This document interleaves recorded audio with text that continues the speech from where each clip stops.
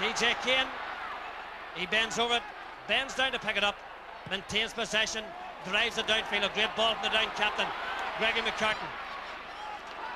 Left footed, gives it to James McCartan. James holding on to Karl Diamond, getting away from Karl Diamond. And now Kieran McKeever takes over the tackling exploits. Still James McCartan, a perfect example of balance. If this ball goes over the bar, Celtic Park will erupt. It does. A score of persistence by James McCartan. That score had everything.